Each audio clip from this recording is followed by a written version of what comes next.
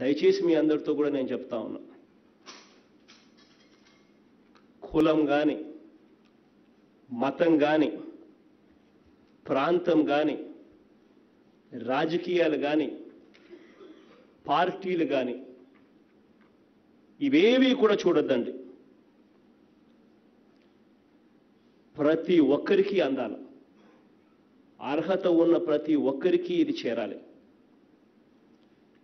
ఎవరైనా మా పార్టీకి సంబంధించిన ఎమ్మెల్యేలు కానీ మా అని నేను అనను మన అంట.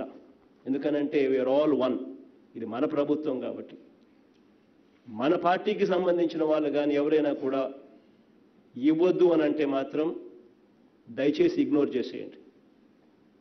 This is not how government is going to function మనకు ఓటు వేయని వాళ్ళకు కూడా మనం మంచి చేయాలి. వాళ్ళకి అర్హత ఉంటే వాళ్ళకి అందాలి.